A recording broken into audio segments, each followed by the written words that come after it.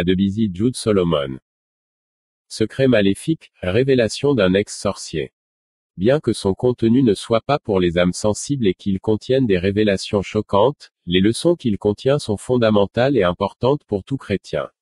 N'oubliez pas qu'il n'y a pas de royaume neutre et que la vie est trop courte pour perdre du temps avec des choses périssables qui n'ont aucune valeur ni signification durable que cette expérience vous incite à aimer Dieu au-delà de toute autre considération et à lui consacrer entièrement votre cœur. Cela ressemble à un conte de fées. La plupart le passeraient pour un récit créatif, fictif et surréaliste d'expériences surnaturelles, à ne pas prendre au pied de la lettre. Mais il s'agit d'une véritable confession. C'est le récit d'un homme qui a vécu pendant plus de 20 ans dans un monde de ténèbres et de démons.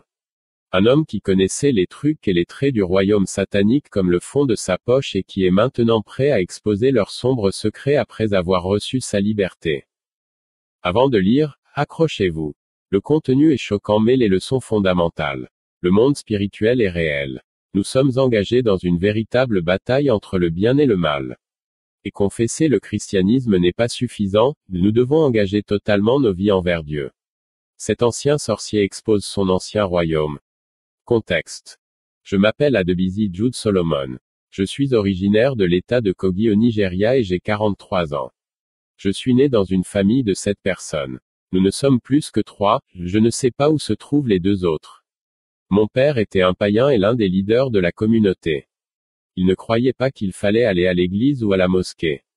Il était de ceux qui voulaient vivre leur propre vie dans le sentiment de leur propre compréhension.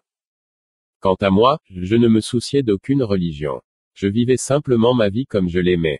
J'avais l'autorité de mon propre chef, personne ne me disait que je devais faire ceci ou cela. Le sentiment de ma propre enfance était que je croyais en l'autogestion, en un principe de vie autonome. Je voulais simplement vivre ma vie, personne ne devait me déplaire et je ne déplairais à personne. L'initiation. Quand je suis entré à l'université d'Ilorin, dans l'état de Kwara, j'ai étudié le laboratoire scientifique. À cette époque, je ne savais pas comment vivre sans petit ami. J'ai donc eu de nombreuses aventures avec des filles. Dans ce processus, je suis tombé sur une dame qui m'a initié.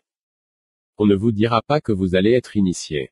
Vous aurez simplement une liaison avec la personne. Mais elle vous connaît mieux que vous-même, et elle peut en dire beaucoup sur vous sur vos allées et venues, sur vos antécédents physiques et spirituels. Ils vous ont surveillé. Dans le royaume spirituel, ils surveillent les gens. Ils voient votre étoile, votre gloire, tout ce qui concerne votre vie. Il n'y a aucun domaine de votre vie qui n'est pas étudié. C'est après mon initiation que j'ai appris que j'avais été initié en m'amusant avec elle physiquement. C'est à travers une relation sexuelle. Lorsque vous êtes initié, ils soumettent votre sperme au royaume. Cela leur permet d'entrer dans votre vie. Une contribution sanglante. J'ai commencé à me voir dans une région étrange que je ne connaissais pas. Tout a commencé par un rêve. Ils vont demander. Vous devez apporter quelque chose, vous devez payer un tribut, qui est le sang. Vous le verrez comme si c'était un rêve, mais c'est une réalité. Cela ne deviendra clair pour votre propre compréhension que lorsque vous aurez payé de ce sang. Tout a commencé par un accident. Dans un rêve, je me suis retrouvé impliqué dans un accident à l'intérieur d'une voiture, mais c'était une réalité. Une semaine plus tard, j'étais dans une voiture et j'ai eu un accident. Beaucoup de gens sont morts mais je n'ai pas été blessé. C'est le premier niveau auquel vous accédez. Vous commencez à observer que vous n'êtes plus seulement un être physique. C'est le processus par lequel vous vous trouvez dans le monde spirituel. Rejoindre une culture. Dans ce processus, j'ai rejoint une secte, la secte AGU. La même fille vous emmènera à la secte. Vous avez besoin de protection. Ils commenceront à menacer votre vie, en disant que vous devez vous protéger en rejoignant cette secte, même s'ils vous diront que c'est un gang. Vous devez prêter serment. Le serment implique le sang physique. Ce sont eux qui apportent le sang, alors vous faites le serment que vous ne les trahirez pas. Puis vous buvez le sang. C'est une autre prise de pouvoir. À ce moment-là, vous commencerez à provoquer des crises dans l'école. Vous commencerez à verser du sang en utilisant une hache ou un pistolet pour tuer des gens, en particulier en affrontant les membres d'autres cultes. Peu importe qui vous tuez, ce sang est apporté spirituellement et augmente votre niveau. Ainsi, le spirituel et le culte travaillent main dans la main. Il n'y a aucun culte ou herboriste qui ne travaille pas main dans la main avec le monde spirituel. C'est là qu'ils obtiennent leur pouvoir. Vous n'invoquez pas de pouvoir naturellement, ils viennent du monde spirituel et se manifestent maintenant dans le physique. Un autre monde. J'ai commencé à observer physiquement que je peux dormir pendant deux ou trois jours. Vous pouvez venir et demander ce qui est arrivé à cette personne, mais je ne suis pas là. Je ne suis pas couché là, mais je suis dans l'autre monde. Vous êtes allongé physiquement mais vous êtes là spirituellement. Les gens penseront que vous êtes malade ou que vous dormez. Tout ce que vous voyez dans le physique, il y a quelque chose qui se passe spirituellement. Avant qu'une chose ne puisse se produire physiquement, elle s'est produite spirituellement. Avant que quoi que ce soit ne vous arrive, cela se manifestera d'abord dans le monde de l'esprit, car c'est ce qui contrôle les êtres humains. C'est-à-dire que votre être spirituel vous contrôle. C'est pourquoi, parfois, lorsque vous pensez à des choses, vous commencez à avoir trois pensées différentes. L'une d'elles vous chuchote gentiment, l'autre vous donne un ordre sévère et l'autre vous dit, je ne sais pas ce qu'il faut faire. Celui qui parle durement avec autorité n'est pas de Dieu, celui qui vous chuchote doucement est de Dieu. Le vôtre est celui qui demande, lequel dois-je choisir? C'est maintenant à vous de décider. Sans biologique. On m'a demandé d'amener mes sœurs, alors j'ai pensé que c'était pour les initier. Une fois que vous êtes initié, vous pouvez en initier d'autres, en couchant avec elles. Le pouvoir que j'avais était celui de provoquer des accidents. On m'a ordonné d'aller là-bas avec elles. Nous sommes montés ensemble dans la voiture pour Ilorin. En arrivant à Ilorin, nous avons eu un accident. Les deux hommes sont morts sur le coup, et beaucoup d'autres personnes sont mortes. J'ai été hospitalisé. Je n'étais pas vraiment blessé physiquement, mais ils vous font ressembler à une personne dans le coma. Ils savent ce qu'ils font. Faux coma et porteur spirituel. Les gens penseront que vous êtes dans le coma et ils vous porteront à l'hôpital. La plupart des gens qui qui me porteront à l'hôpital ne sont pas des êtres humains. Ils viendront au milieu des multitudes comme des êtres humains, et viendront me chercher, c'est mon frère, envoyons-le à l'hôpital. Ils marchent dans les rangs des êtres humains. Ils peuvent entrer dans quelqu'un pour l'utiliser à cette fin. La personne peut finir de faire ce qu'ils veulent qu'elle fasse et elle commencera à se demander ce que j'ai fait. Il ne le sait pas. La plupart des gens, après la délivrance, se demandent ce qui s'est passé. Ils ne le savent pas. Ils vont entrer dans une personne, me porter à l'hôpital et après deux ou trois jours, je serai libéré. Dans ce processus, j'ai perdu mes deux sœurs. J'ai été promu. Une échelle de sang. Pendant la période où vous êtes allongé à l'hôpital, vous êtes dans le monde spirituel. Physiquement, on dit que vous êtes dans le coma, mais vous êtes dans le monde spirituel. C'est là que j'ai vu mes deux sœurs. Si vous tuez quelqu'un, vous lui soumettrez son sang, vous le verrez physiquement là-bas. Ce sont les marches d'une échelle. Chaque personne tuée par ton intermédiaire augmente tes marches et chaque marche que tu franchis est une promotion tu recevras plus de pouvoir spirituel, et tu seras exposé à plus de choses de l'esprit. Colère démoniaque. J'ai reçu deux pouvoirs parce que c'était mes deux sœurs. On m'a donné une transformation et on m'a donné la colère. J'étais alors très prompte à me mettre en colère. Je me laisse facilement offenser parce que l'esprit en moi me poussait à me mettre en colère. Quand tu me marches dessus ou que tu m'offenses, tu me mets en colère, je vais certainement faire quelque chose qui implique ton sang. Par exemple, si la personne est enceinte, vous pouvez prendre la grossesse, le bébé dans le ventre de sa mère, et lui donner une pierre, ou lui planter un fibrome. Si les gens ne sont pas spirituellement alertes, vous lui causerez beaucoup de dommages. Maladie spirituelle. Lorsque vous voyez quelqu'un découvrir un fibrome, ou avoir des symptômes auxquels il n'est pas habitué, ne le laissez pas ou ne l'abandonnez pas en disant, c'est une chose courante. Ce n'est pas le cas. Vous ne connaissez pas l'affliction ou le genre de personne qu'elle a rencontré et qui a empoisonné sa vie par une chose plantée dans son corps. Cette chose va commencer à la dévorer progressivement. Petit à petit, et elle meurt. Beaucoup d'afflictions que vous voyez aujourd'hui ne sont pas naturelles. Il n'y a personne qui naît avec une maladie. La maladie ou l'affliction ou les maladies d'aujourd'hui, nous les appelons cadeaux, dans le monde spirituel. Vous allez donner un cadeau à cette personne. Ce don va commencer à le troubler. Je continuerai à conseiller les gens, ce n'est pas tout le monde qui vous donne un cadeau que vous devriez accepter. Beaucoup des cadeaux qu'ils vous offrent physiquement sont possédés spirituellement, un point de contact par lequel, lorsque vous l'emportez chez vous, que vous le mettez sur votre corps comme vêtement ou que vous le mangez comme aliment, il vous affecte. Transformation. Je peux me transformer d'homme en femme, à la fois physiquement et spirituellement. Lorsqu'ils auront surveillé quelqu'un et qu'ils voudront que j'aille le chercher, ils viendront à toi physiquement pour te donner une instruction. Vous et moi pourrions être en train de regarder ce mur maintenant, et il me donne des instructions, mais vous ne le verrez pas.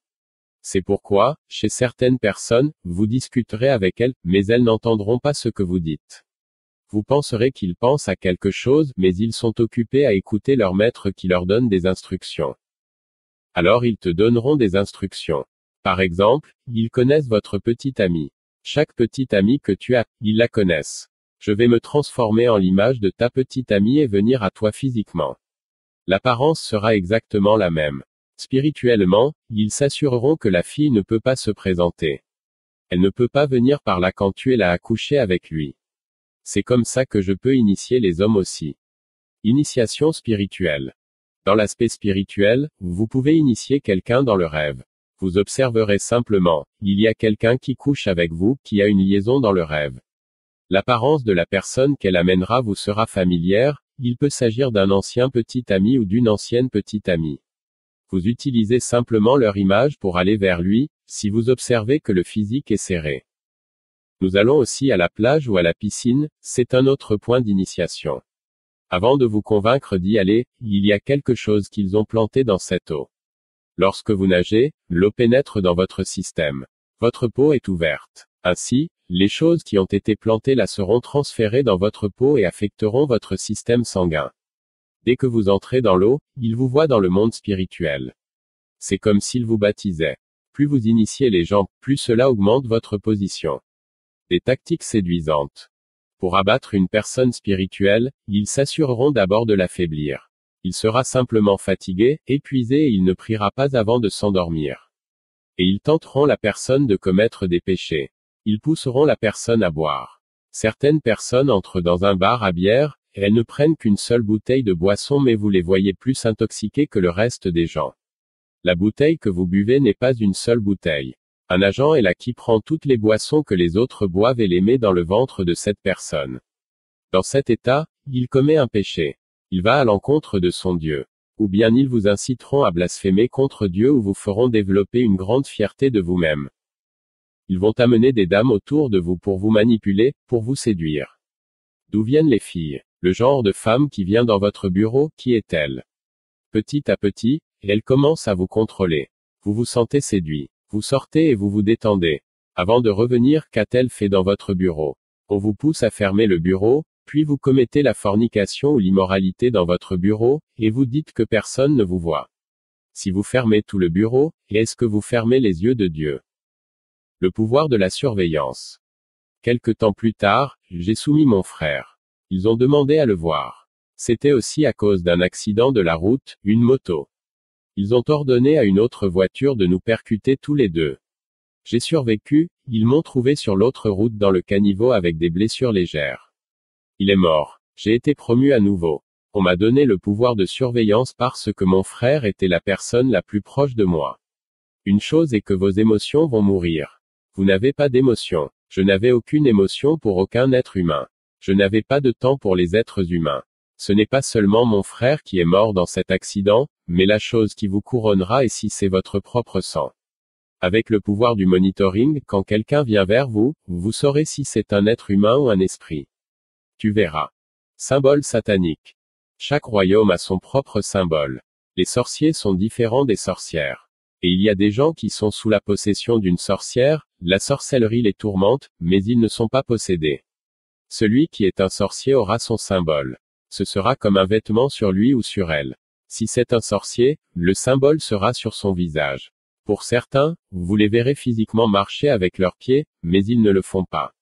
Ils flottent tout ce que vous voyez depuis votre royaume, vous seriez capable de le comprendre. Quand une personne est sous le coup de la sorcellerie, toi, en tant qu'esprit familier, tu n'y vas pas car quelqu'un s'en occupe. Vous allez cibler ceux qui sont des chrétiens convaincus. L'indicateur de feu. Pour les chrétiens, il y a une flamme de feu qui les entoure. Une telle personne, vous ne pouvez pas lui faire du mal spirituellement. Ils vont juste le tenter. Quand ils tombent dans cette tentation, c'est le point de pénétration. Le feu se réduit. Progressivement, ils le réduiront jusqu'à ce qu'il devienne vide et c'est là qu'il frappe. Même si vous êtes fort, vous serez tenté. Mais est-ce que tu cèdes? Comment céder à la tentation? C'est votre soumission qui compte. Tout le monde sera tenté. Aussi longtemps que vous serez dans cette chair, vous serez tenté. La différence, c'est que Dieu vous offre un moyen d'échapper à la tentation si vous êtes chrétien. Tous les chrétiens sont égaux, c'est seulement nous qui les appelons des noms comme pasteurs. Mais la flamme de feu sur chaque corps est très différente. Pour certains, elle n'est que sur leur tête, pas sur leur corps. Parce qu'ils ne sont pas spirituellement alertes. Vous pouvez l'attaquer. Ils sont des chrétiens confessants mais pas tels dans le cœur. Ils peuvent croire mais ils ne sont pas prêts à grandir. Vous pouvez voir par le feu le niveau d'engagement des personnes envers le Christ. Ils n'enverront pas quelqu'un qui est bas dans notre royaume vers une grande flamme. Il y a des groupes de personnes qu'ils envoient, de niveau en niveau. Il y a des niveaux dans le christianisme, il y a des niveaux dans le monde spirituel. Tout ce que vous voyez dans le christianisme se passe dans le monde spirituel, dans le royaume de Jésus. Mais dans notre monde spirituel et occulte, on n'appelle pas le nom de Jésus-Christ. Nous disons, les enfants de cet homme. Nous ne sommes pas habitués à cela. Ce n'est pas quelque chose que l'on appelle là-bas. L'esprit de l'argent. J'étais dans le troisième niveau à l'époque. Le quatrième niveau, c'était mon père. C'est à ce moment-là que mon père a été impliqué. Dès que l'incident se produit, on vous prend dans le coma, on vous transporte à votre siège et c'est là qu'on vous donne la nouvelle affectation. Mais il vous donne un intervalle, une période pour que les gens ne se méfient pas. Mon père a aussi eu un accident. Je devais fêter mon anniversaire et je l'ai convaincu de voyager avec moi. Nous avons eu un accident. Je suis tombé dans le coma, il est mort. On m'a alors donné l'esprit des finances, l'argent. Lorsque vos finances sont altérées, votre joie est perdue. Ils veulent manger votre joie. Même si vous êtes un chrétien fort ou un pasteur puissant, lorsque vos finances sont altérées, vous serez affecté. J'avais donc le pouvoir d'altérer les finances d'autres personnes et de provoquer l'effondrement d'entreprises. Lorsque vous voyez des gens acquérir de l'argent, et qu'ils sont fiers, c'est aussi l'esprit de l'argent à l'œuvre. Travailler avec le destin. Il y a des enfants destinés dont on veut mettre fin à la joie. Tout le monde n'est pas destiné. Chaque enfant a son propre destin, mais certaines personnes sont plus puissantes que d'autres. Ce sont nos cibles. Dans le pouvoir de surveillance, vous voyez de telles personnes, la gloire en elles. La gloire est comme une étoile. Plus l'étoile est brillante, plus le destin est grand. Lorsque vous avez une ampoule à l'extérieur d'une enceinte, vous verrez des mouches et des insectes voler de loin pour venir à la lumière. Si la lumière n'est pas chaude, les insectes la couvriront et tout sera sombre. Mais si la lumière est chaude, les insectes mourront. C'est exactement ce qui arrive à chaque enfant destiné. Lorsque vous êtes un chrétien, vous avez le feu, c'est la différence. Donc si vous n'êtes pas chrétien et que vous sont un enfant destiné, le destin sera couvert. Ils n'accompliront pas leur destin. Nous avons plusieurs types de leaders. Certaines personnes pourraient être des leaders dans leur propre famille, libérer leur propre famille financièrement ou moralement, ils sont destinés mais ils peuvent le réduire si les insectes ont recouvert sa lumière. C'est pourquoi vous voyez certains dirigeants, après avoir atteint le sommet ou occupé une position importante, à la fin de leur travail ou de leur mandat qu'ont-ils acquis ou qu'ont-ils à montrer pour cela? Ils peuvent toujours atteindre cette position mais ne rien accomplir de tangible parce que la lumière a été couverte. La lumière veut jaillir, mais elle a été étouffée. À la fin de son mandat, demandez-lui, qu'avez-vous acquis? Quel est votre héritage? Il n'y aura rien à écrire sur son compte. Le chemin de la délivrance. Je suis entré dans l'église le dimanche matin pour être délivré. L'atmosphère n'était pas propice aux démons qui résidaient en moi. Ils essayaient de me faire sortir de la zone.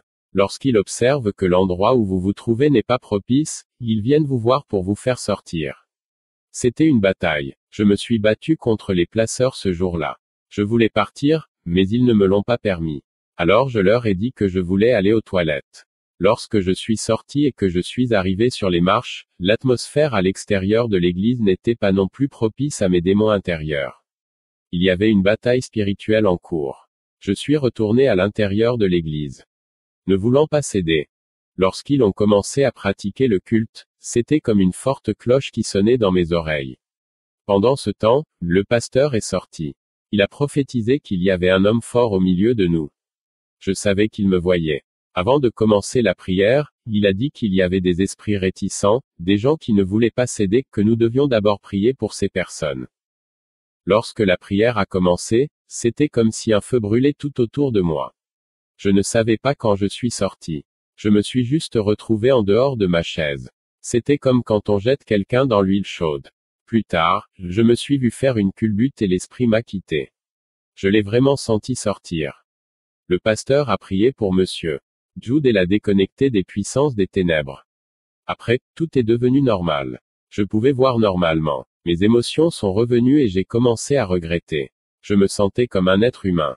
J'ai commencé à avoir de la peine pour les personnes qui étaient mortes. J'ai commencé à me dire que j'avais vraiment commis un péché contre l'humanité et contre Dieu. Conseil aux chrétiens. Quand vous voulez servir Dieu, servez-le en vérité et en esprit. Si je peux citer correctement, cherchez d'abord le royaume de Dieu et sa justice. Oubliez les autres choses. Votre mentalité doit d'abord être le royaume de Dieu. Le royaume de Dieu ne se trouve pas dans les apparences physiques. Il se trouve dans votre esprit intérieur, dans votre être spirituel. Comment fortifier votre être spirituel? En vivant dans la droiture, dans la vérité. Que votre oui soit votre oui, que votre non soit votre non. Sincérité, honnêteté, authenticité. Soyez engagés envers Dieu. Et en plus, ce qui vous donne du pouvoir en tant que chrétien, c'est le nom de Jésus-Christ. Pas seulement Jésus, mais Jésus-Christ. Concluez avec ce nom de Christ. Quand vous voyagez dans le monde entier, vous voyez des gens qui portent Jésus mais personne ne porte jamais le Christ. Car Dieu a élevé son nom au plus haut point et il lui a donné le nom au-dessus de tout autre nom et tout genou fléchira devant ce nom. La deuxième est le sang de Jésus-Christ. Pas de retour en arrière. Immédiatement après ma délivrance, j'ai reçu des chansons inspirantes. Le lundi après ma délivrance, je suis allé à la montagne de prière. Je ne savais pas comment prier. Je n'avais jamais prié, je n'avais jamais lu la Bible. J'ai rencontré l'évangéliste là-bas et je lui ai demandé, comment dois-je prier? Que dois-je dire? Il m'a répondu, tout d'abord, remercie Dieu de t'avoir sauvé et délivré.